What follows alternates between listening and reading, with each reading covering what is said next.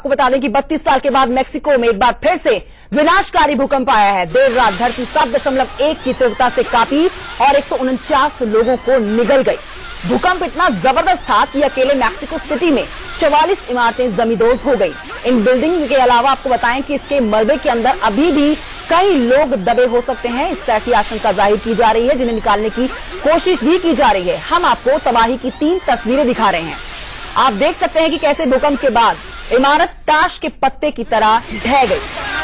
ये तस्वीरें आप देख रहे हैं किस तरह से कुछ चंद सेकंडों में पूरी की पूरी इमारत, लाल रंग की ये बिल्डिंग, ताश के पत्तों की तरह ढह जाती है। लोग सड़कों पर भागते हुए दिखेंगे आपको। अफरा तफरी का माहौल।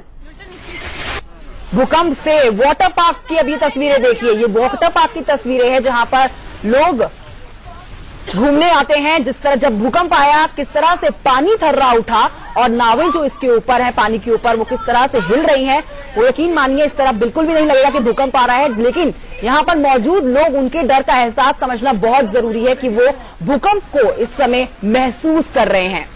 ये जो पानी हिल रहा है, ये भूकंप के झटकों से हिल रहा है। हर तरफ़ सिर्फ़ चीख पुकार ही सुनाई दे रही थी।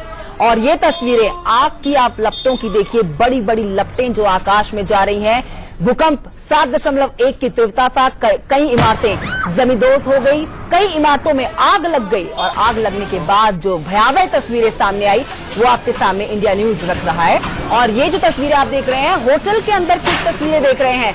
होटल में भी किस तरह से अफरा तफरी का माहौल हो गया, वो आप देख सकते हैं। ごめんなさい。